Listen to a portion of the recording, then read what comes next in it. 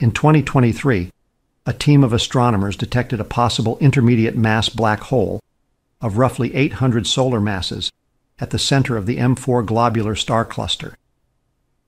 In our How Fast Is It video book chapter on black holes, we covered how no intermediate mass black holes have been confirmed to date. But here's one that might be. They examined 12 years worth of M4 observations from Hubble and resolved pinpoint stars. The suspected object can't be seen, but its mass is calculated by studying the motion of stars caught in its gravitational field. The black hole has an event horizon that is a little more than half the diameter of our moon. This is a simulation of the motions of stars around the suspected black hole. After the zoom into M4, the center of the cluster, where the suspected black hole resides, is highlighted by a red X. The red circle has a radius of just under half a light year.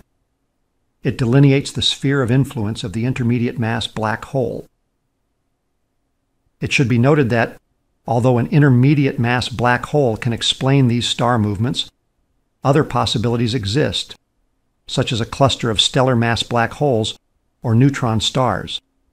So, by the end of 2023, there has still not been a single confirmed IMBH. In the future, the Webb Space Telescope might help resolve this question by improving the star count and velocities near the center.